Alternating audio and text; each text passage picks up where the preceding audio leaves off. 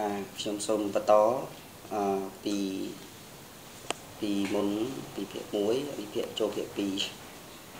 បាទសាច់រឿងវាច្រើនប្រវត្តិជូរចត់ការរស់នៅពីតូចឆ្លងកាត់ពីសម័យសង្គ្រាម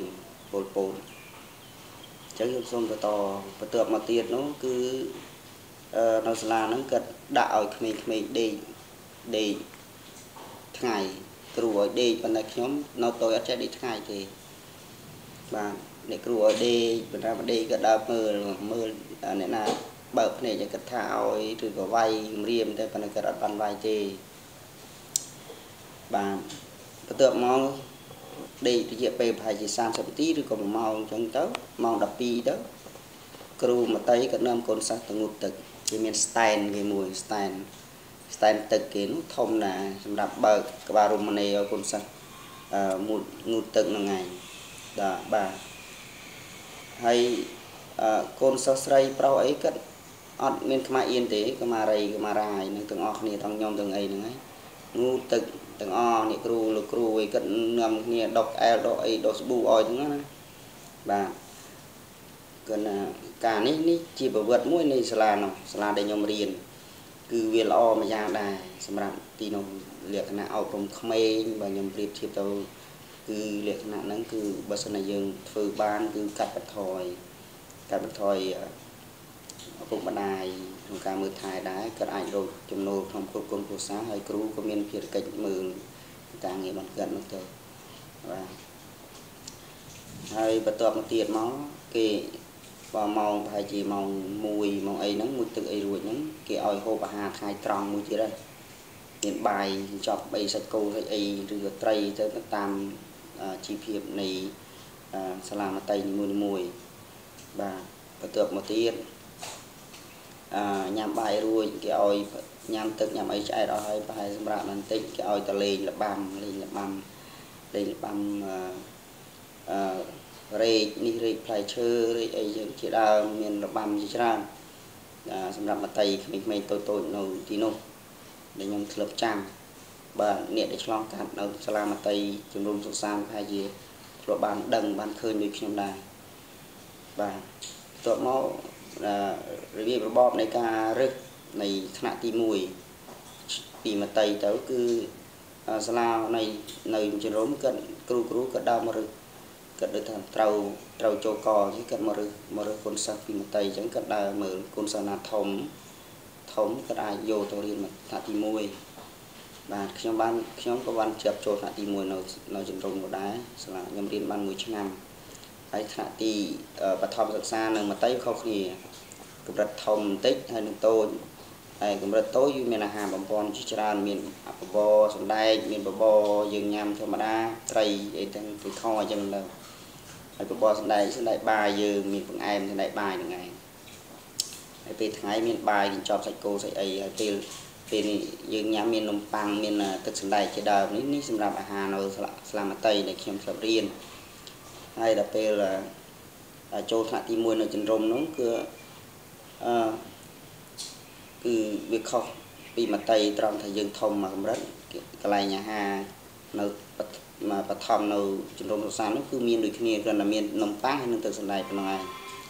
រីឯរីឯ សិភៅអឺកបោកបោអឺកបោសិភៅបិចសម្លៀកបំពាក់ទាំងអស់គឺសាលានេះឲ្យគ្រប់គ្រងឲ្យទាំងអស់សិស្សគេចង់បានសិស្សទៅរៀនអត់មានយកលុយឲ្យឱកាសទេមានតែឲ្យសិស្សញ៉ាំអាហារជាច្រើនដូចជានំប៉័ងទឹកសណ្ដែកទឹកសណ្ដែកបើគុណសិស្សខ្លះយកមកដបអាដបអាដបអាដបតាហ៊ានអាដបទឹកតាហ៊ាន ពីដើមគេប្រើអាដបកដុងខៀវខៀវច្រកទឹកសណ្ដែកហ្នឹងទុកញ៉ាំកូនសិស្សទុកញ៉ាំបាទហើយអឺរៀនហមតីរៀនហមតីវាសបាយមួយយ៉ាងហើយមានអាហារជាច្រើនដល់ពេលចូលដល់បឋមអឺគេមានមេរៀនច្រើនមេរៀនខុសពីយើងនៅសប្ងៃមេរៀនគេសភៅគេស្មើនៅថ្នាក់ទី2ទី3ប៉ុន្តែគេរៀនជាប់ពីមតីដូចគ្នាជាប់អឺ ជាញនេះដូចគ្នារហូតបានសំបីឲ្យខ្ញុំឡើងមកស្រុកខ្មែរយើងកាលឆ្នាំ92 93ដែលគេដឹកប្រជាជនតាមយន្តរមមកស្រុកខ្មែរក៏គេក៏គេប្រៀបធៀបនឹងអ្នកនៅជំរំគឺអ្នកដែលរៀនច្រើនជាងនៅស្រុកខ្មែរយើងសុភៅការរៀនគឺខុសគ្នាដែរហើយក៏ក៏ខ្ញុំចាំបានសុភៅសរសេរគឺមានរូបអប្សរារឿង ហើយអត់មានកលាឆោតឆោតទេគឺបើទឹកត្រង់ត្រង់ត្រង់ត្រង់បាទនេះនេះណែដែលដែលសុភៅនៅសម័យនោះបាទអអត់មានកលាឆ្នោតដោយកលារេទេអានោះគឺកលាត្រង់ត្រង់ប្រទិតត្រង់ត្រង់បាទពេលរៀនមតីបាន មួយរយៈអូថ្នាក់ទី1បានមួយរយៈខ្ញុំនៅឆ្នាំកាលពី3បានគិតដល់ប្រជាជន ខ្មែរយើងមកពីរំចូលមកស្រុកខ្មែរដូចជាបងប្អូនខ្លះគាត់នៅបាត់ដំបងនៅទីបញ្ជ័យនៅភ្នំពេញនៅសៀមរាបនៅ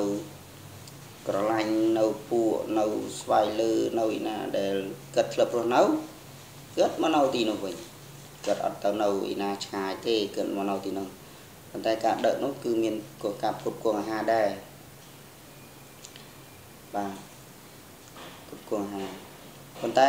មុននឹងមកស្រុកខ្មែរខ្ញុំក៏ធ្លាប់បាក់ដៃមួយសាដែរខ្ញុំធ្លាប់អឺ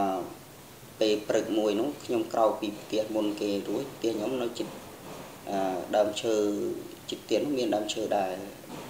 ដល់ពេលខ្ញុំអឺ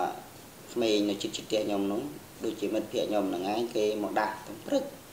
ហើយជាម៉ោង5ទៅអត់ទាន់ភ្លឺច្បាស់ខ្ញុំក៏ទៅ với គេទៅណាដល់គេទៅរួចទៅចាប់សត្វរៃឡើងចាប់លេងលេងមួយគេក៏ធ្លាក់ប៉ុន្តែធ្លាក់ទៀតទេបើយើងក្មេងទៅបាក់ដៃវាអត់បាក់ទេវាភ្លឿតកងែងប៉ុណ្ណេះអ្នកដៃខ្លួនឯងទៅខ្ញុំក៏បាក់ដៃទៅទៅដកពេទ្យហើយពូរបស់ខ្ញុំគិតនៅធ្វើពេទ្យជំរំសុកសាមកឯងគិតឈ្មោះថាពូសុបិន ឥឡូវគិតខ្លាយទៅជាពេទ្យម្នាក់នៅក្នុងខេត្តបាត់ដំបងពេទ្យបងឯកម្នាក់នៅក្នុងខេត្តបាត់ដំបងបាទប្រហែលជានៅក្នុងស្រុកអឺស្រុកភ្នំខាងភ្នំតាផ្ដេខេត្តបាត់ដំបងបាទសប្ងៃឈ្មោះពូ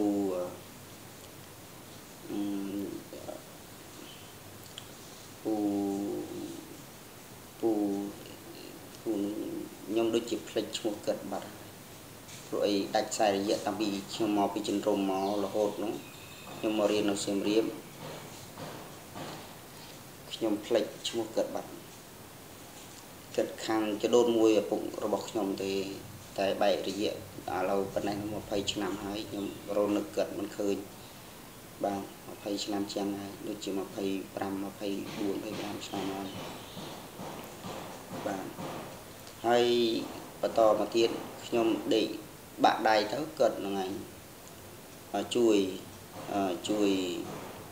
អូខ្ញុំនឹកឃើញហើយពូពូពូដែលពេទ្យហ្នឹងគាត់លើព្យាបាលខ្ញុំនេះគឺឈ្មោះសុបិនបាទគាត់ឈ្មោះសុបិនបាទពូសុបិនហើយគាត់លើតាខ្ញុំស្លាប់ក៏គាត់ទៅជួយ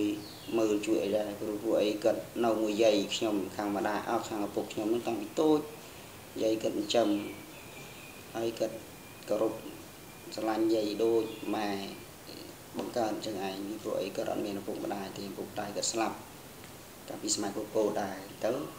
គាត់មានចំណេះវិជ្ជាចេះដឹងច្រើនក្នុងសម័យដែលគាត់រៀននោះគាត់ចេះបារាំងចេះអីចេះគាត់ឲ្យគេឲ្យគាត់រៀនពេទ្យរៀនអីគាត់រកខ្លាយជាពេទ្យក្នុងសម័យនោះទៅបាទហើយដល់ពេលហ្នឹងមកគាត់បញ្ជូនខ្ញុំបាននេះទៅដេកពេទ្យនៅខោដាន បាទពីព្រោះអីខោដាងគេសបោថ្នាំច្រើនបាទពេទ្យខោដាងពេទ្យនៅជំរំដែរជំរំខោដាងហើយខ្ញុំ